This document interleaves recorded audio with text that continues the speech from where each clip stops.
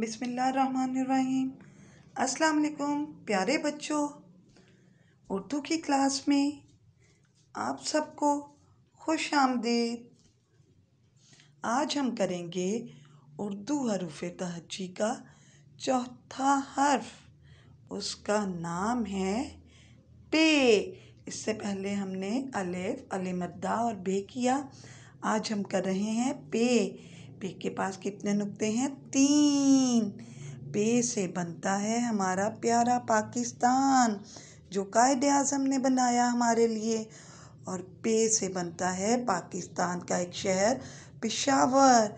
और पेशावर के रहने वालों को कहते हैं पे से पठान। अरे ये क्या इतना खूबसूरत हमारा सूबा, पंजाब। और पंजाब में रहने वालों को कहते हैं पंजाबी। पे से पानी। पानी हमें बहुत एहतियात से इस्तेमाल करना चाहिए। पे से पेड़, पपीते का पेड़।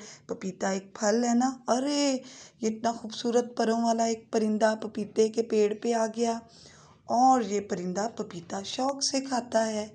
तो चले, देखें हमने पे से क्या किया।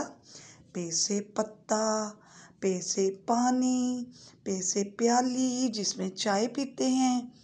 अरे पे से पाँव और इन पाँव में है पेशावरी चप्पल पैसे पेंसिल, जिससे हम पे लिखेंगे। और ये किसका घर है? ये है पप्पू का घर।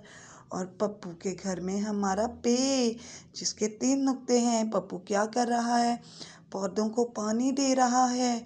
और पानी देते देते उसका पाँव फिसला और वो गिर गया और उसके घर जो पपीते का पेड़ है, उसके ऊपर कितने रंग बिरंगे परों वाले परिंदे आए हैं।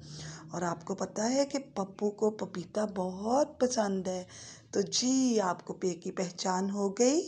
पे होता है बे की तरह, लेकिन इसके पास है तीन नुक्ते। पे से परिंदा, अच्छे से परों वाला। पे से पपीता, एक हेल्दी फ्रूट पे से पौधा। जिससे हमारा घर खूबसूरत लगता है पैसे पानी, जो हमारे लिए बहुत अच्छा है। आई होप आपको पेस्ट की पहचान और पैसे बनने वाली चीज़ों की पहचान हो गई होगी। खुदा हाफिज़ जजाकल्ला खैरन। अपना बहुत ख्याल रखिएगा।